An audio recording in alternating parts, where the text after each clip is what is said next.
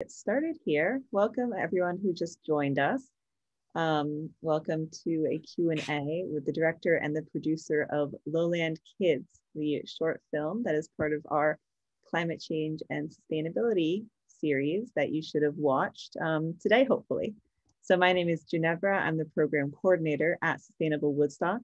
We're a nonprofit founded in 2009, and our mission is to inspire, educate, and empower everyone to live environmentally, economically, and socially responsible lives.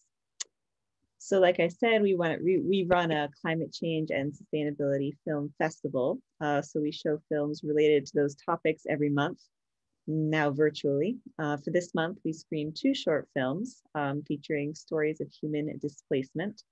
Um, I do hope that everyone had a chance to watch both those. And tonight we'll just be discussing Lowland Kids, which is a documentary telling the story of the last teenagers on the Isle de Jean Charles, a sinking island off the coast of Louisiana. Um, so before we get started, I just wanted to run through the agenda and how the meeting will operate. Right now we are recording um, and we're on Facebook Live and I will send a recording of this event to anyone who cannot, couldn't attend tonight. Uh, you should be muted and your video should be off. So if you want to ask a question, please type it in the chat box on Zoom. So if you scroll over the screen, the little chat bubble. And if you're watching on Facebook Live, please just type it in the um, comment section of the video. So um, with that, I think I'm just gonna go ahead and introduce our two speakers tonight, who I am very excited to hear from, Sandra Winther and William Crouse. So I'm gonna just read their bios before we get started. Sandra was born in Copenhagen and based and is now based in New York. Um, Sandra's style melds documentary and narrative with an emphasis on capturing the stories and pulse of vibrant youth culture and climate focused issues. Her critically acclaimed documentary, Lowland Kids, premiered at South by Southwest in 2019 and screened at over 30 major festivals. The film was hailed for its compassionate and intimate portrayal of climate refugees and received several awards, including the Audience Award for Best Documentary at Palm Springs Short Fest and a Cinema Eye Honors nomination for Outstanding Achievement in Nonfiction Short. Uh, she spends part of her time in Puerto Rico, where she filmed Shadow of a Hurricane in 2019 as part of Nowness Survival Season, a visual exploration that celebrates the resilient spirit of the Puerto Rican people in the wake of Hurricane Maria. Sandra is currently in development on her first narrative feature and doc slash sci-fi hybrid slated to film in winter 2021. So that's Sandra, the director. And then we have William. Um, so William Crouse's documentary debut, Monster Factory, directed by Tucker Bliss, explores a behind the scene look at the professional wrestling world and cemented his love for the medium. An urge to humanize the impact of climate change resulted in his second documentary, Lowland Kids, which premiered at South by Southwest in 2019. His most recent film, Underplayed, directed by Stacey Lee, premiered in 2020 at the Toronto International Film Festival. William is currently in series development on Monster Factory with Vox Media, and his newest project, which follows Olympic climbers to the Tokyo Games. So I am really, really thrilled to welcome both of you. I really enjoyed this film, um, and I think we're all excited to hear from you and not me. So I will turn it over to you now. Well, thank you so much for having us. Yeah, I think I can start just by talking a little bit about, you know, how we found the story and what we were excited about in terms of, of telling this narrative. Um, William came to me, um, you know, uh, and had been reading the news and, and told me about, you know, sort of, hey, there's this island, Isle de Charles, and they just received or the state of Louisiana just received a $48 million grant under the Obama administration and this location relocation is set to happen. And, you know, I thought it was a really interesting story and a really, really important one. But at the time we didn't, you know, quite have our subjects. We had a lot of people in mind and we got in touch with, you know, a local person on the island that was able to connect us to some people.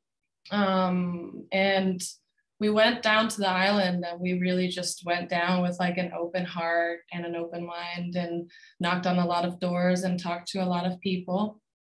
Um, and uh, ultimately it was you know when we met the brunet family which i had sort of already had in my mind that they were an interesting family i had seen a video of howard and juliet uh, from a few years before when they were younger and i thought it was really interesting to try and explore uh, the youth's perspective on this and their experience and kind of tell this story through their eyes of course, I hadn't met Howard and Juliet in person, and I didn't even know if they were really going to be willing to film with us. And we'd been told by several people that there was a high likelihood that they wouldn't as much because they're teenagers. And the last thing you want as a teenager is have a you know camera around you at all times. Um, but ultimately, you know, we were able to connect with the Brunet family and and I was able to sit down with them and hear about their experience and I think as a crew, and and I really am so happy that I had William, um, you know, with me in this process. I think as a crew, we were able to, in some ways, like become a part of the family a little bit and make it fun uh, to do this filming, which I think is so important when you're working with young people that have lost a lot and who are having to speak about things that are really hard to speak about. And you know, there were many things that we dove into and, and and many things we talked about in these interviews that they had never talked with anyone outside their family about. So you know i was i was very honored to, to be able to have those conversations with them. And i think as a crew you know um, it, that's part of the reason why we were able to create a safe environment for them um, and then we did a second trip and we planned that out more and then we you know put a put an edit together and submitted it to festivals in the hopes that it would do well. And then it's just been amazing to see how it's been received. I think the story has connected with a lot of people. It's connected with a lot of Americans, you know, perhaps despite their political beliefs. I think the film shows that climate change is real and happening and it's sneaking up on you in the night. And you know there is no reversing it and you know communities are now being affected in a big way by this and um, you know Isle de Charles is just you know one community out of out of many to come um, that will have to um, relocate you know Isle de Jean Charles in a way is they're lucky because the state is helping them and they are you know a part of this amazing project um, as, as you can call it. Um, and hopefully there's a blueprint there for how to relocate communities and Native American communities uh, in the future, you know, in, in other states or uh, in other countries. Um, so I guess that was just like my little short uh, blurb about sort of how we got started. But um, William, why don't you talk a little bit about sort of what you were drawn to in the story and how our first like sort of shoot went and how it developed from there. Yeah, um, you know, I think one of the one of the unique um, hurdles of this project, you know, Sandra and I had to overcome was a lot of people don't understand, but Isle de Jean Charles has been in the media for the last 10 years. Um, Chris has probably done over a hundred interviews on this topic. And I mean, even when Sandra and I are down there filming with him, he tells us about other enormous media companies that have just been there maybe even that afternoon um, and we will have just missed you know cnn or nat geo or something like that and so when we were developing this project from the very beginning people kept telling us that um, you know maybe this story had already been told um, and that was it, it wasn't necessarily something that you know some some younger filmmakers um, you know, should be spending their time on. Maybe there was another story that hadn't been represented that that should be told.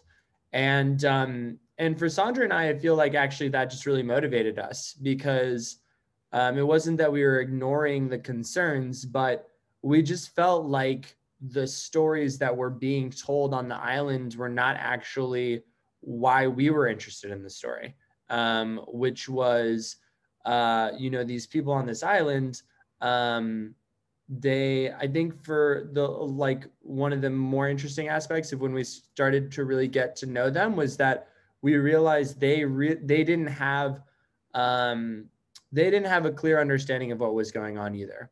Um, they had a lot of opinions Um, but at the end of the day, they were not, they're not, you know, social eco climate change activists. They're just normal people. And, you know, Howard and Juliet are just normal teenagers. And um, this is not something that they wanted to experience.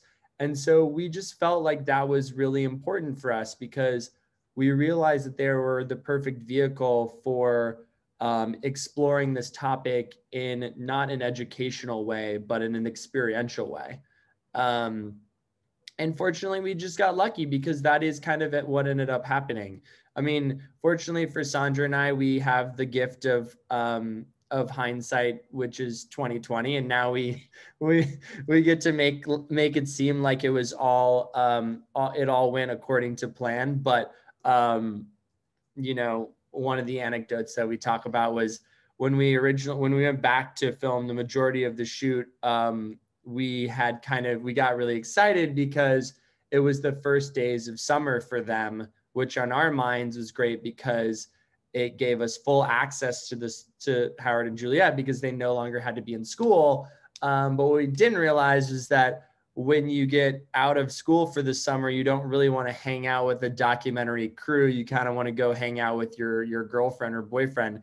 And so um, I just still remember that, you know, two days into our shoot, we really didn't know what the project was going to be about. And so, you know, a lot of the insights that we have now are are lucky because it, it kind of all worked out. Um, but yeah, I think that that's that's what re- has really resonated with everyone about this story, and and and we will go into this further. But you know, our aspirations were always to develop this project into a feature film, which is something we're doing now, um, which really follows along the actual physical relocation, which is happening um, right now as we kind of speak. Um, and they've just laid foundation for the homes, and um, the state is building 33 homes um, for some of the islanders. And then there's a bunch of other free land um, that they can build on, uh, which we can go into further. But um, but yeah, that's that's kind of that's kind of generally it. And I don't I don't know if we want to kind of like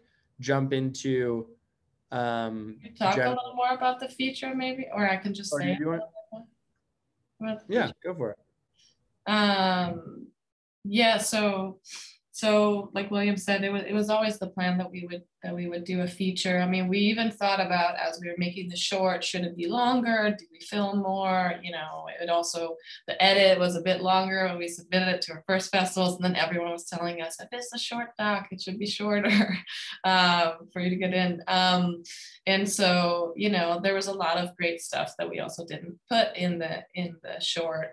Um, and also the short you know a lot of the the tension in the edit was sort of created in post and we weren't with them through an actual hurricane. We weren't with them through like you know like this big um, dramatic change in their lives. And and you know we tried our best and and we had an incredible editor laura tomaselli who edited it.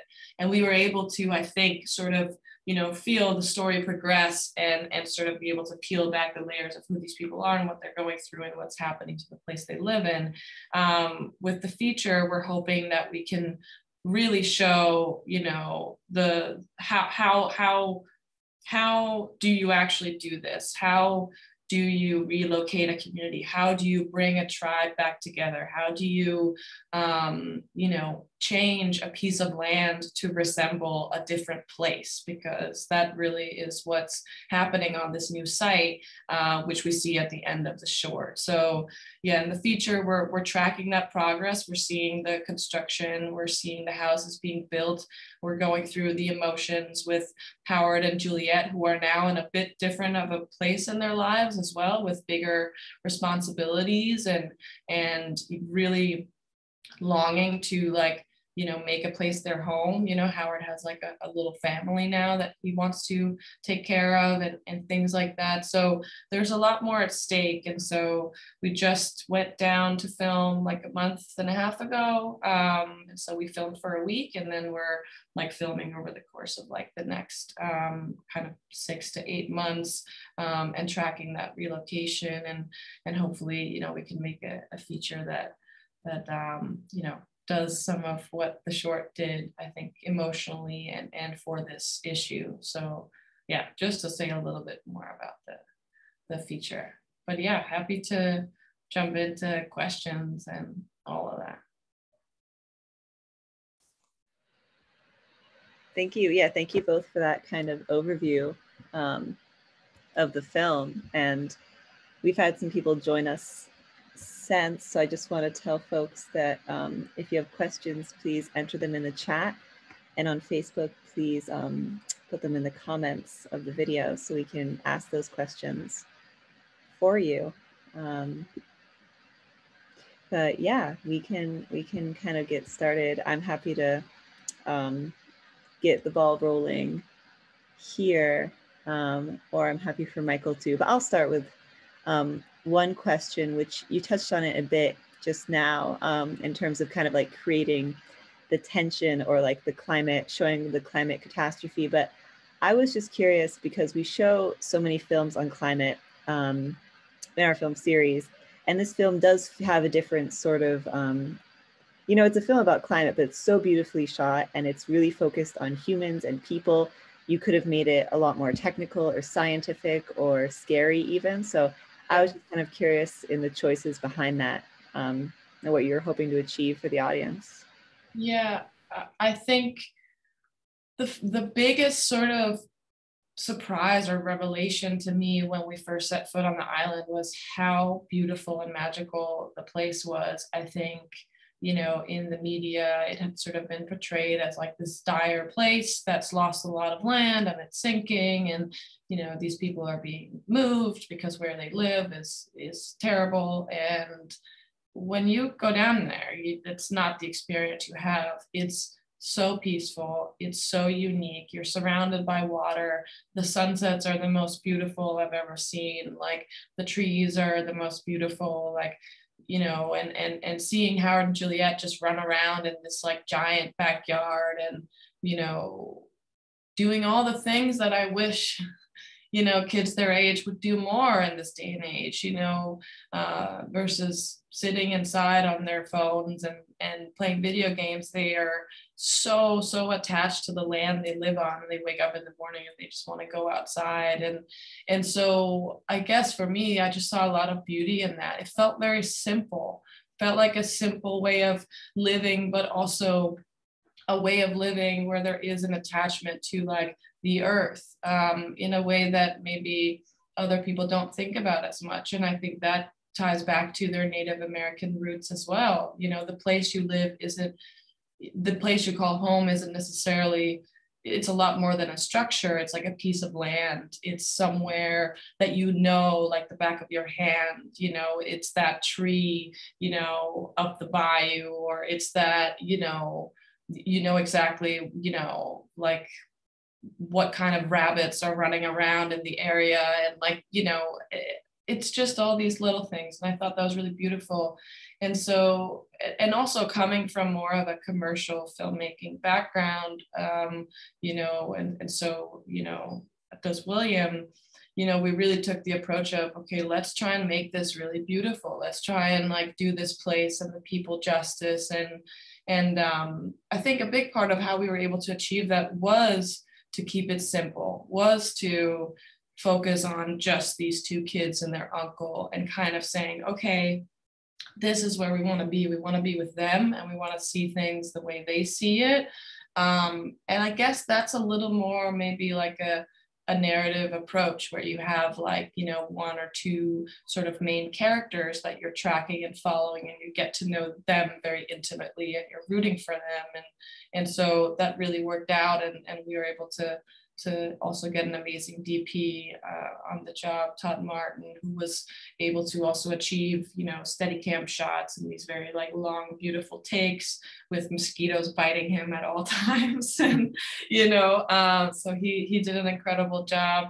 Um, and I think really ultimately, you know, the film is like a feeling. Um, I think it, it's almost like a, it's like a state you're in when you're watching it. It's like a certain sort of peaceful feeling. And then at the end, we sort of, you know, realize it's sort of like, oh, you know, but it's being taken away and this is not where their lives will continue and and i and i think that that way of filmmaking is is hard to achieve it's complex and we spent a lot of time on music composing and we've composed all sorts of songs and then in the end went and licensed a lot of them we spent a lot of time in the edit going back and forth and pairing different sound bites with different scenes. Of course you do that for for every project um, but i think we really did it because we felt like okay if we can be in this feeling and if this pacing can kind of feel like you're being pulled in and out of like these lyrical moments and these scenes where we're just with them seeing just how great they are as a family uh, there's something you know that we can achieve here that that is a bit rare for the climate doc sort of genre i guess. Um, now that we're doing the feature we are you know i think we we do have to have more context. We do need to you know have a little bit more like not stats and science first, but we need to understand in a little bit more detail what's happening. Uh, and we need to understand a little bit more what's at stake. And we want to be there through a storm. We want to understand how powerful these storms are and, you know, why they're getting more powerful each, each hurricane season and all of those things. But I think for the short, you know, it was, it was just a choice to say, okay, let's just make this like a, a portrait you know it's sort of a portrait of of of you know three characters um and that i think worked to to our advantage so yeah. Do you have any input william? No. Yeah no. I thought that was that was great. Oh there is a question. How has the rest of the island community responded to you getting the word out about their plight and bringing this focused attention to them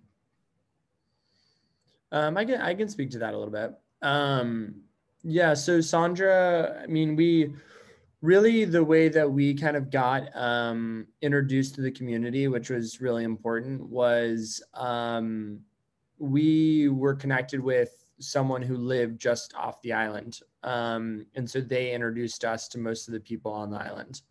I really don't think maybe Chris Brunet would talk I mean, he talks to almost every reporter, but everyone else on the island is pretty standoffish um, because there's so much media attention. Um, but really, I think that the the most like specific example we can give was before the film premiered at South by Southwest. Um, we went down to show the family the film before it was um, screened to the public and you know they watched it and it was really it was a really fun experience because they obviously were looking at different they were looking at different things than most of us see. Um, you know juliet was con- constantly commenting on how she looked or her fingers or her hair or something like that. Um, so that was kind of fun but in the end you know they didn't have any notes. Um, they didn't have any feedback and they felt like it was really representative of what they had been experienced and who they were. Um, and you know we we even had a screening at new orleans film festival and um, and they came up for it. And and and juliet and howard's grandparents were there. And you know i was really surprised at how supportive they are of it because we're also talking about you know, one of their children who passed away because of drug addiction and, and these sorts of things. And, um, and they just, they were comfortable with that. And they felt like it was more important um, for that story to get out than any discomfort they might have around the topic. And so I think that if you are, if you're able to be a filmmaker that is telling someone's story and you don't have a specific agenda, which is very challenging because we're all biased. Uh, we all have our own biases. Uh, but if you're able to do that, my experience is that people are always the subjects will be surprisingly, um, surprisingly supportive. Um, and the other thing that I've really experienced uh, when with making work like this is that if you're making documentary film in the right way, it also can it can be a therapeutic experience for them uh, because a lot of times their close community aren't they're not asking the questions that Sandra and I are interested in and maybe they don't have the resources to dedicate as much time as we're able to dedicate. Um, and so I think a lot of them for at least the Brunet family specifically working with the film with the documentary crew has been really helpful because it's given them time and space to actually think about what is happening to them. Um, and so yeah i mean we honestly we have been you know overwhelmed by the support that we've received with the community. You know we are very uh, sensitive working with them not just because of their experience but also you know most of them are indigenous and and you know unfortunately in in our country we have a long history of exploiting and marginalizing that specific community. And so you know we try to do as much work as possible to prepare for that. Um, but at the end, at the end of the day, it is you know it is our privilege to work with them, and they keep keep inviting us into their home. So it, you know I think that that's kind of the most important component.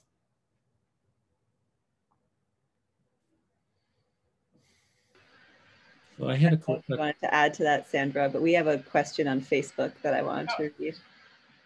Um, so it's just a question: How did you choose this family? I guess what was the choice behind them specifically to profile?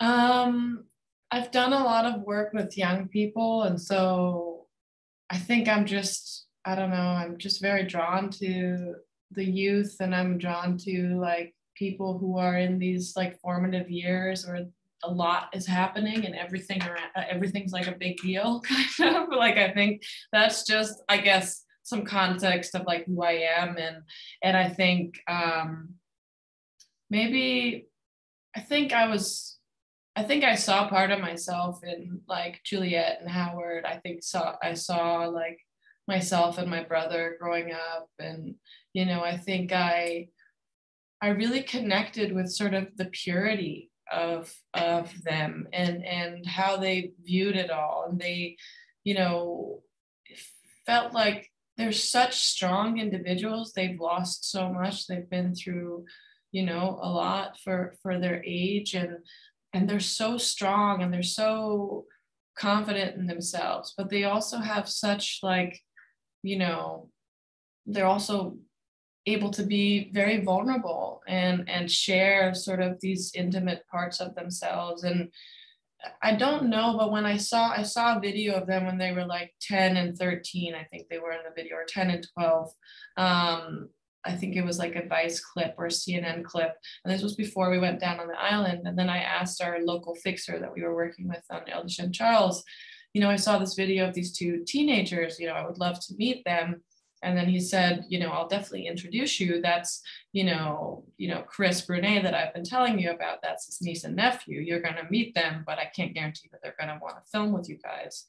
And then you know we went to the house and i was doing an interview with chris and we were doing interviews with lots of people. Um, and i was doing this interview with chris and it was one of those interviews that kind of i had to do to get to the to the stuff I really wanted to get to, if that makes sense. It was very like he took it very seriously and it was very sort of, you know, like a lot of, you know, this is where we were, this is where we are now. Like he wasn't, you know, it takes time to build trust with people. And sometimes, you know, um, you just have to show up a few times before that sort of starts happening and they, they feel they can trust you.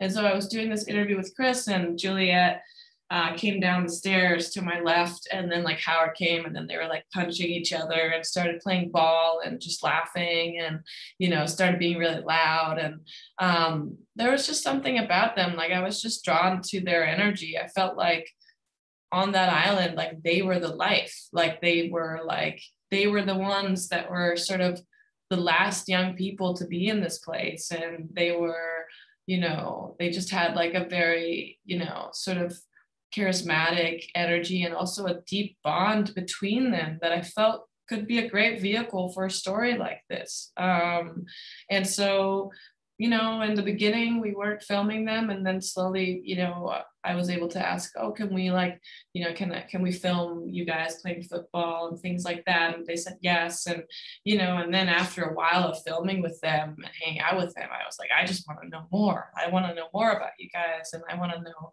everything. Um, but of course, you also have to, you know, build a build a relationship before you can jump into all aspects of their lives but I just was really drawn to their energy. I was really drawn to how they, you know, empower each other as a family and their humor and you know how they kind of just see the beauty in the little things um, and also how like tough they are with each other a little bit felt there was there was just a lot of uh, richness in their family um, and some of the other families we met with um, felt more also like they had a very set opinion and there was nothing a, around that that was going to change. It was either you know they're going to have to bury they're going to have to carry me out of here in a casket you know uh, like i'm not going anywhere. Or it was sort of like i'm just unhappy we're not getting what we need you know and that's that you know like a sort of you know um, what I saw with the Brunet family is there was a lot of optimism. There was a lot of optimism about what this project could mean for them. There was a lot of optimism around like, but we still have this place. We can still come back here. We can still go fishing here. Like they just kind of looked at the at the bright side of things. And I thought that was really special and, and, and beautiful. So yeah, it, it, it and it was really after our first trip we started we kind of put a trailer together which is actually the trailer that we have for the film. And when we tried putting other footage in of other you know characters it was like wait no i want to be i just want to be with the brunets like that feels like the right place to be you know there on that porch. And so on our second trip down we were just focused on them. Um, so that's kind of how we how we did it. Yeah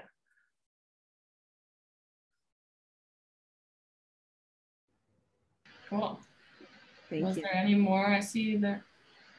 Um, yeah, well, we have some people thanking you um, yeah, that you're successful in telling the story of their attachment to their land and family, um, and people looking forward to the longer film. Um, and we have a comment here. I think the focus on the positive feelings and not on the crisis itself makes it more powerful and able to bring you in the, into the personal impact of climate change. Yeah. I, I agree. Question. Did you get a sense that the transition to new location was a concern among members of the family? Were they engaged in substantive activities on the uh, on the island, and if so, will they be able to continue that kind of work at the new location? Um, so yeah, I can I can speak to that. Um, the the feature that we're working on actually goes into a lot more of the indigenous narrative. Um, it, it is it is a big part of their lives, um, but we didn't really feel fully comfortable diving into it in the short because it felt like you know one of the biggest things when making any type of film is that um, you need to be really strict on yourself of what your kind of prioritizing and that specific narrative just felt like it might be deserving of its own short in itself and we just didn't really know if we had the time to really give it as much attention as we needed in the short and so we mention it but you know there's a there's a lot more complexity that we'll be going into in the future mm-hmm. um, one of the biggest divisions between the community and the government that re, that is relocating the the island is this um, is kind of this disregard to the indigenous part of their culture. Um, the island the the there's really two main tribes that are represented on the island um, and one of them is not federally recognized and so i think that there has been some kind of sensitivity from the government to make sure um, that they're not really addressing it because also in our country we have very strict housing regulation that um, would not allow them to prioritize one community one race over another because it would it, it, could be seen as discriminatory. At least that's what the government has kind of lobbied behind why they why they have disregarded this cultural aspect they, they're saying because this is federal money we're not allowed to just give homes to indigenous people because that would be discriminating towards everyone else. Um, whether that's right or wrong not really sure uh, but that's that's kind of how how they they think of it. Um, and so, you know, I think that from our perspective, um, you know, this is kind of an ongoing development for us. Um, and so, you know, uh, I, oh, sorry. No, I was, just gonna say, say I, I, just didn't know what the word, I'm Danish, so I didn't know what the word subsist, subsistence activities, is that like sacred? like fishing and hunting and oh got it, got it, got it. basics off the living yeah. off the, yeah should i so, so really you know what what seems extremely obvious and hopefully this comes across in the in the in the short but it's this idea of erasure. And um, really what climate change is going to do extremely effectively is erasing culture whether that's indigenous culture or other cultures. Um, yes, we can save people's lives and move them out of harm's way, but um, you know, there's there's a there's an um, the the previous generation. Chris probably saw the tail end of this, but then the um, but his his parents and his grandparents were living solely off of what the island was providing, um, and most of most of the families down there you know, still are fishing on a regular basis to provide um, subsistence, you know, to their diets. And, um, but, you know, 50 years ago, they were living off of gardens that they had made for produce. And really all that has gone away because the island is so regularly flooded a couple times a year.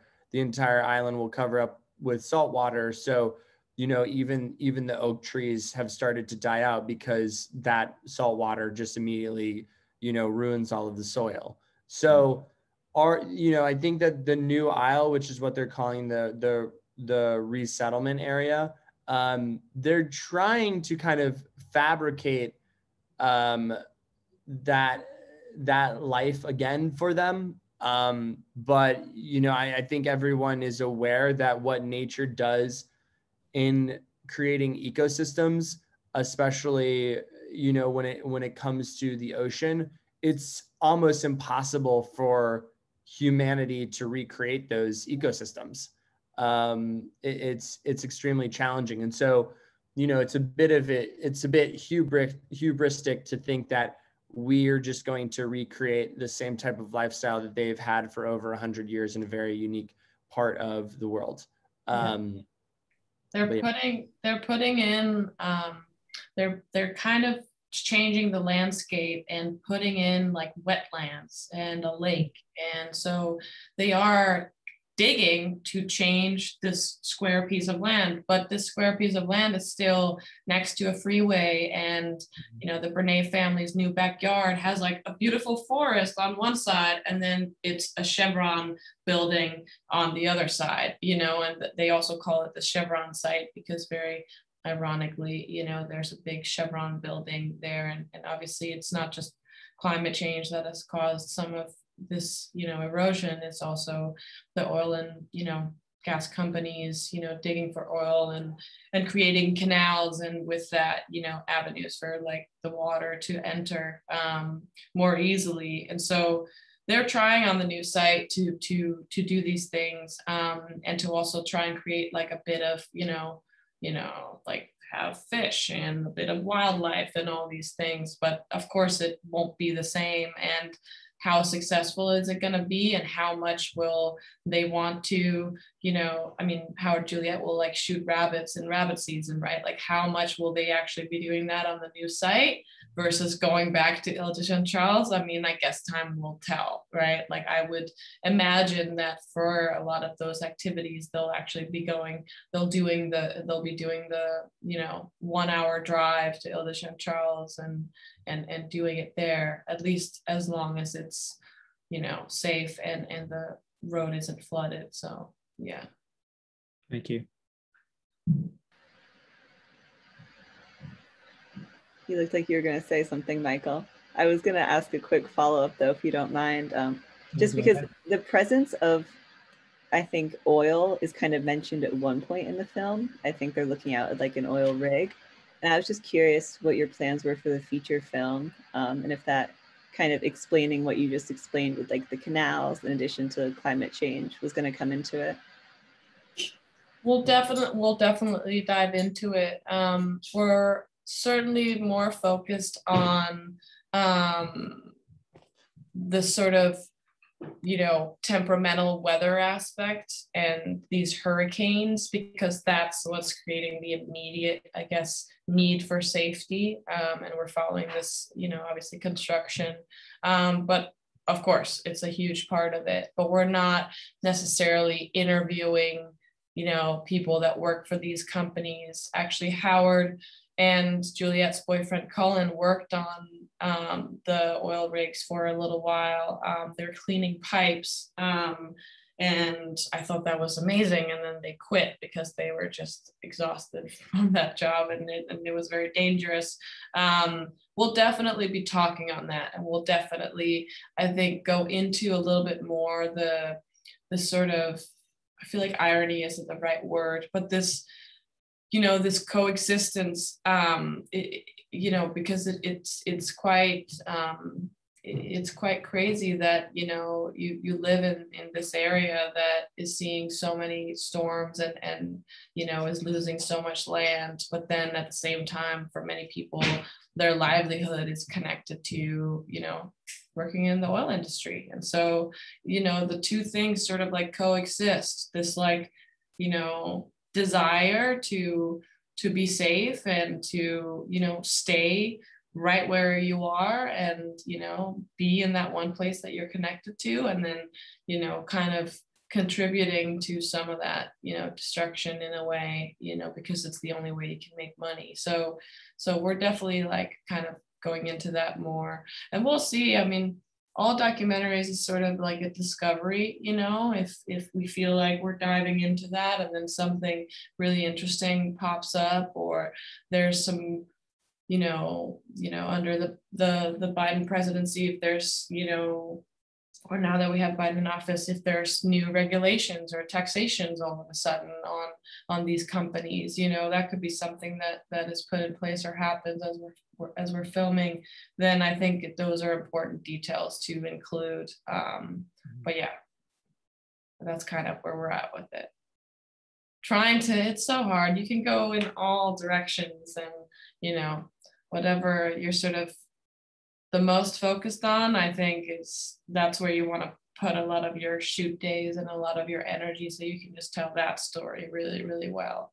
But of course, there's all these sort of other threads within that main story. So yeah. Thank you. Uh, yeah, that's that's interesting to know that they're kind of it's not shocking, but yeah, like the yeah. duality of working yeah. for oil and money coming in. Yeah. Yeah.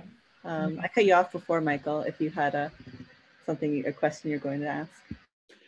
Well, the only other question I had to ask was what, for each of you, the experience has brought um, change in perspective in your own life from what you learned through getting to know the family, the transition that they're needing to make because of climate change, how that's impacted you the global question. Yeah. Yeah, I mean, I think through my, you know, and I think this comes across in the short, and hopefully I'm not steal, stealing Sandra's answer, but, you know, I think it is this idea of resilience. Um, I climate change is, you know, we kind of decided that we were going to fast forward through all the trying to convince people that climate change exists and just fast forward to it, it is it's happening you know coastal erosion is happening in louisiana you can't you can't deny um, you know you you can't argue with juliette that her house is in disappearing because she'll show you where the land was when she was 10 versus now when she's 18 um, and I think that that's that's really tough information for us to have. I mean, I grew up on a barrier island in Florida, and I think that that's it's a really dire situation. It doesn't seem like there's much hope. And I think what spending so much time with the Brunets has really taught me is that, you know, being able to focus in on community and family and and laughter and and love, even though that sounds very cliche. Um, I, I think that that's kind of what's that's really the biggest hope we have. I think that you know we can figure this out as long as we stay in it together. Um, and I think that that's what really motivated us to make this film. I mean, I don't think anyone on this panel needs much convincing on the climate change side of things, but we wanted to try to entertain and secretly educate other people on the other aisle because I do think that we need that other 50 percent of people that don't really understand what's going on with climate change to partner with us because you know we're not just going to be able to to fix this as half of the country. So mm-hmm. i really think that's what it is. I mean chris brunet has been in a wheelchair most of his life and i've never seen anyone laugh as much as him and he would never seem like someone who was disabled and you know he's a mentor and an inspiration to me. And so i think that that's what makes us so excited to continue working with them because they're just amazing people. And i think that um, i think that, that that's kind of what has shifted my perspective. Thank you. Yeah should, should i answer too or uh, yes please. answer short i think it was just like a really um, beautiful experience you know before this project. I hadn't you know spent time with with people so intimately. I had done some branded doc work but i hadn't sort of you know done a film like this where it was just completely up to us every day waking up what are we filming today? Like we're doing exactly what we want to do and and you know kind of um going in and and observing these people's lives and then trying to do them justice and being able to be let in in the way that we were like just exceeded all my like expectations. Like um and i think the experience like william said you know same thing. I was just so inspired by like their love and you know how they get through things and how they laugh you know them like how they just laugh through life and um, how they, you know, have big dreams and hopes and aspirations and all these things, but they don't put like a, a pressure on each other to, to be perfect or to, you know, do things a certain way. Like everyone in that family is free to be who they are. And that's like, you know, promoted and uplifted. And that was just really beautiful. And I think being from Copenhagen, Denmark, and living in this country, and perhaps in some ways feeling like I maybe even have a little bit more like a magnifying glass up to like what's going on here than I would have if I was born here. Um, it was such a special experience to go to South Louisiana where I had never been and to meet a family that would open up in that way and and share their life experiences and and then to do it with a with a crew a group of people you know that just we all just had so much fun with it and we made something i think of importance but did it in a way where we also had fun and you know learned a lot about ourselves in the process. I also learned a lot more about what kind of films i want to be making and i learned that i can you know be, that I'm a deep person that that can can uh, you know I think that isn't afraid to go to those those places with with other people that that isn't afraid to like share in in that pain and and I don't know maybe I, I I'm very grateful for that. I'm very grateful that